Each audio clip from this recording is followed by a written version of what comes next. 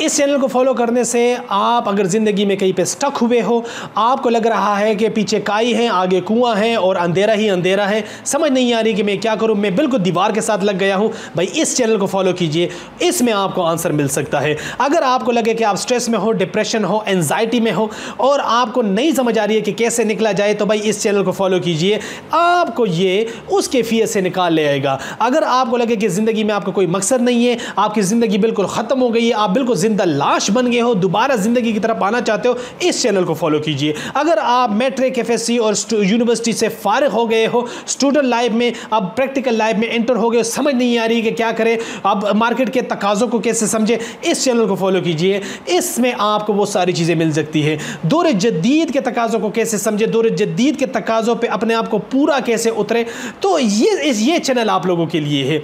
अगर आपको लगे कि आप इस दुनिया में आए हो तो क्यों भेजा गया है आपको? आपके वजूद का मकसद क्या है? अल्लाह ताला तो एक चूंटी को भी बेमकसद नहीं बनाता तो भाई मुझे तो अशरफुलमखलूक़ात कहा गया है। अगर मुझे अशरफुलमखलूक़ात कहा गया है, उसके बावजूद मैं ये बेबसी और पसपाई वाली हालत में क्यों हूँ? इस चैनल को फॉलो कीजिए, आपको ये आंसर भी मिल सकता है।